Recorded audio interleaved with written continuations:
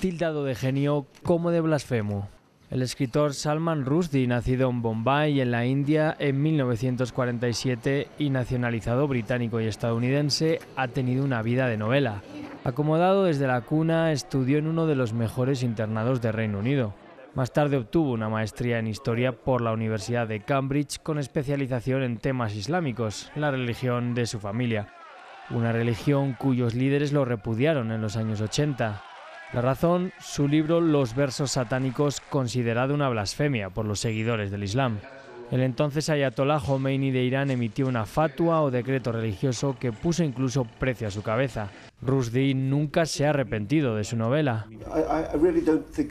Realmente no pienso en eso. La novela ha sido maravillosamente recibida en todo el mundo y eso fue puramente un gran evento literario. La recompensa para quien lo matara superó los 3 millones de dólares y la polémica no ha cesado con los años, más aún tras ser investido caballero del Reino Unido. En India o Pakistán hubo protestas masivas. Las autoridades de Irán nunca le han perdonado su atrevimiento. Premiar a una persona que se encuentra entre los personajes más detestados de la sociedad islámica es una prueba evidente de antiislamismo por parte de altos funcionarios británicos.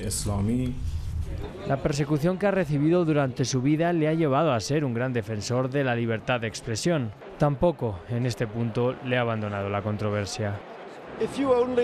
Si solo defiendes la libertad de expresión que se ajusta a tu propio marco moral, eso es lo que normalmente se llama censura.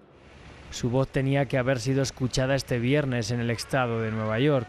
La censura la ha intentado callar a puñaladas.